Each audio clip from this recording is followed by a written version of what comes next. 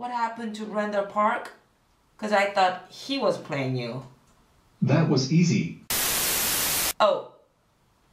What, what what's going on? What? I just stole his identity. Supreme Leader?